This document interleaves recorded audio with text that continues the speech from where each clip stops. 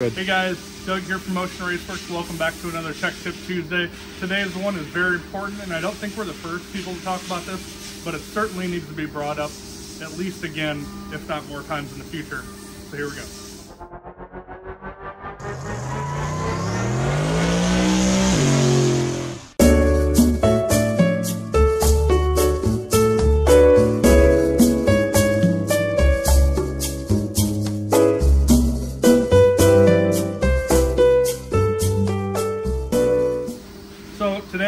I'm talking about is the safety aspect. El Toro was on race week with us. We never pulled the parachute one time that week. The brakes were fine. We were only running eighth mile, so we were like, why do we want to pack this thing? Which got me thinking uh, a few minutes ago, like, when was the last time it's been pulled?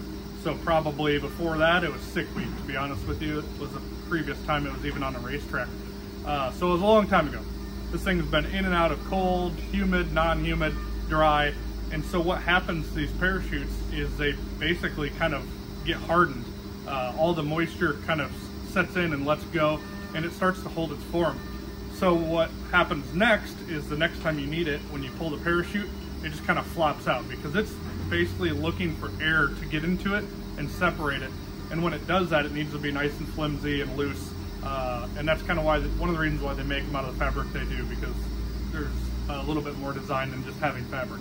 So what you want to do, knowing that we're going to go out testing today, uh, and preferably you want to do this even more than that, is to pull the chute, uh, make sure everything's functioning properly, uh, but then you want to dump the whole bag out. See how hard this thing is? Uh, I can actually feel it right now. It's probably going to fall out as one piece.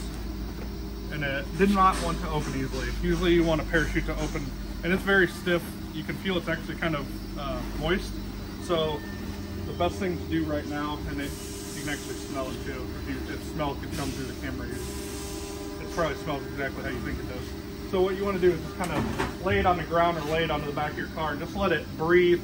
Um, it'll start to get the wrinkles out, and then uh, right before you go out, pack it, put it in a bag, and then go out and use it. This will prevent, when you need a parachute, uh, this will prevent it from just falling out on the track and not deploying. Because of course, when you need a parachute, you need a parachute.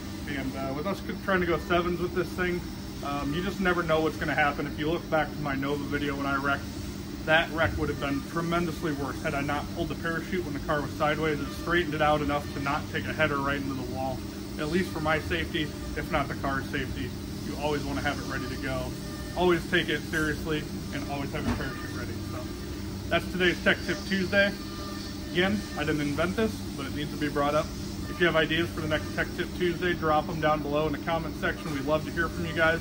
We're inspired by what we do, but we're also inspired by what you guys have as far as questions and uh, what you have for us. See you next time.